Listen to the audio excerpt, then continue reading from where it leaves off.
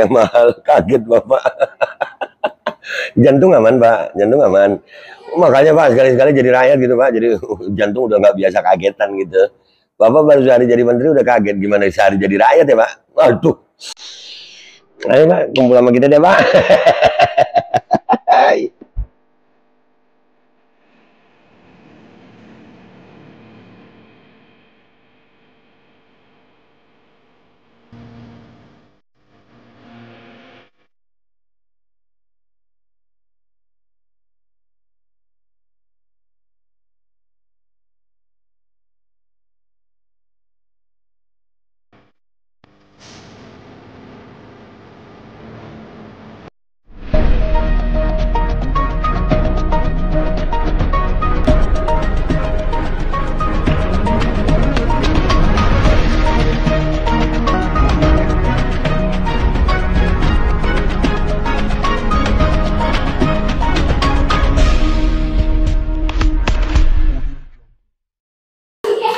Assalamualaikum warahmatullahi wabarakatuh. Welcome back, selamat datang lagi di channel Babeldo Bersama gua Babeldo, Youtube receh. Yang tetap santai bakal sehat Dan jangan lupa ngopi. Bismillahirrahmanirrahim. Kopi gua pakai cangkir.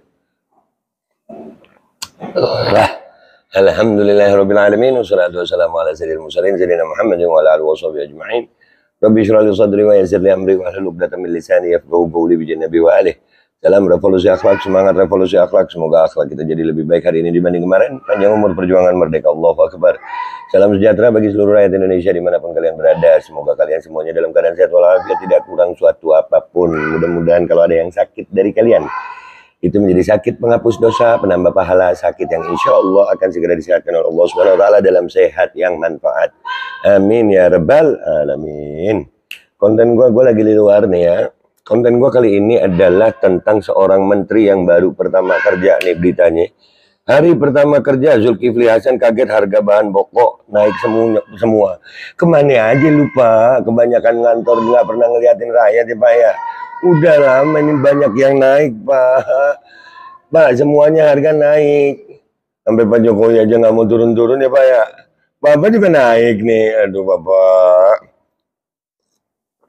bisa ya menteri kaget ya. Terus selama ini kan beliau ini kan ketua PAN ya kalau nggak salah ya, kan di dewan ya. Jadi beneran ya wakil rakyat kita gak tahu loh ya. Aduh ya Allah ya Rabbi, selamat Tuhan yang umur sehat afiat deh ya. Dilansir oleh laman cnn.com. Jakarta, Menteri Perdagangan Zulkifli Hasan melakukan kunjungan di hari kerjanya sebagai pembantu Jokowi di Pasar Cibubur, Jakarta Timur. Ia mengaku kaget mendengar keluhan pembeli dan penjual terkait harga yang mahal. Kaget Bapak. jantung aman Pak, jantung aman. Makanya Pak sekali-sekali jadi rakyat gitu Pak, jadi jantung udah nggak biasa kagetan gitu.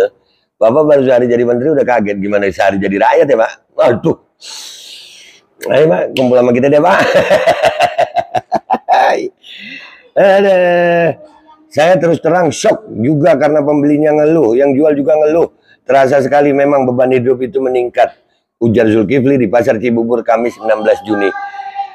Lah selama ini ngapain Pak? Ya Allah sampai di demo sampai semuanya ya Allah Bapak. Aduh Bapak Soleh Hidayah luar biasa lu Bapak ini.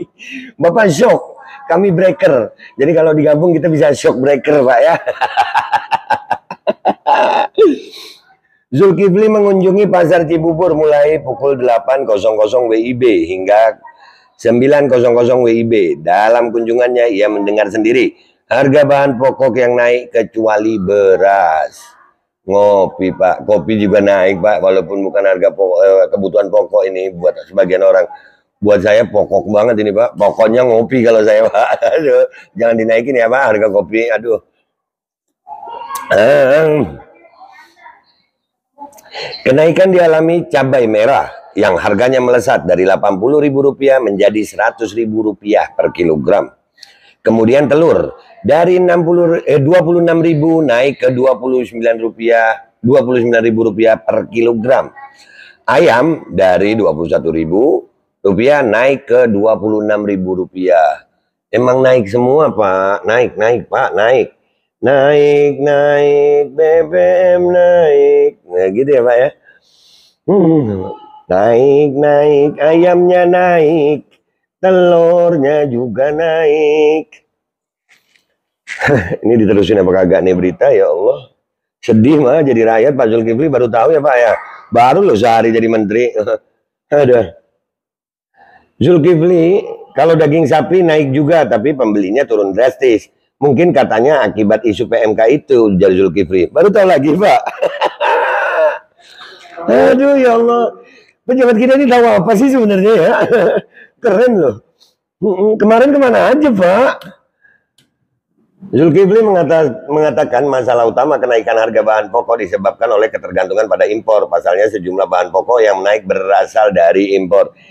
Masalah utama Pak adalah ketidakbecusan orang-orang yang mengurus negara Pak. Ini negara kaya Pak, negara kaya. Tapi karena salah urus akhirnya begini kayaknya Pak. Ini bukan masalah impor atau ekspor loh. Kalau memang impor ngapain dibolehkan impor gitu Pak? Ngapain? Jadi sebetulnya ini masalah ini Pak, itu tergantung kebijakan Pak. Pemangku kebijakannya yang bikin begini nih. Kalau memang nggak nggak mau harga naik karena impor ya dilarang impor kan gitu ya. Ini katanya karena impor tapi orang impor dibolehkan kan lucu Pak. Itu gimana ya Pak ya? Sama aja, gue nggak lapar, tapi gue makan tiga piring. Buset, nggak laparnya tiga piring. Ya sama kayak begitu Pak, itu analoginya Pak. Bapak bilang ini gara-gara impor, tapi keran impor dibuka terus. Bahkan Pak, untuk masalah PMK itu, penyakit mulut dan kuku itu Pak, itu gara-gara impor dari India Pak. Bawa impornya nggak cuma daging, sampai sampai ke penyakit diimpor. Gimana ya Bapak? Penyakit diimpor, terus nanti vaksinnya impor juga ya Pak. Ah, impor melulu dah Pak. Terus ada yang belain NKRI harga mati, mati. Aduh, ada. Hmm. Yaudah. Hmm. Oleh karena itu Zulkifli mengatakan Kementerian Perdagangan akan berkoordinasi dengan kementerian lainnya dalam mengendalikan ketersediaan dan harga bahan pokok. Tentu kita akan mengerjakan bareng-bareng dengan kementerian terkait dan saya kira juga tidak mudah ujar apalagi terkait pangan impor ujar Zulkifli. Iya Pak, ya. Hmm. Sebenarnya sebenarnya Pak, mudah-mudah saja kalau mau punya keinginan, punya integritas itu sebetulnya mudah, Pak. Cuman kayaknya memang eh, ada faktor-faktor lain yang membuat kebijakan-kebijakan itu jadi akhirnya hasilnya begini, Pak. Harga-harga naik ya karena kebijakan sebenarnya, Pak. Kebijakan. Ini kritik dan saran aja ya, Pak ya, Pak Zulkifli. Eh, udah gitu guys ya kesimpulan gue Pak Zulkifli uh, karena ini hari pertama udah kaget sering-sering minum air gula Pak ya. Sering minum air gula biar nggak kagetan gitu. Saya nggak mau ada apa-apa sama Pak Zulkifli. Baru sehari udah kaget begini gimana kalau seminggu sebulan? Aduh. Dan ya, masalah kenaikan harga ini Pak tolong kebijakannya diperbaiki ya Pak ya. Gitu aja dari gue. Gue Babe Aldo minta maaf kalau ada salah. Sampai jumpa di konten-konten gue berikutnya dan mudah-mudahan harga ini turun deh Pak ya. Kalau memang harganya nggak bisa turun, pejabatnya deh yang turun ya. Wabillahi taufiq wal hidayah, wa inayah, wal afu minkum. Assalamualaikum warahmatullahi wabarakatuh. Naik nih. Sekarang makan di warung situ nih. Harganya naik juga teteh. Aduh, kopi naik juga nih. Untung teteh itu baik, jadi gue bisa ngutang. Dah.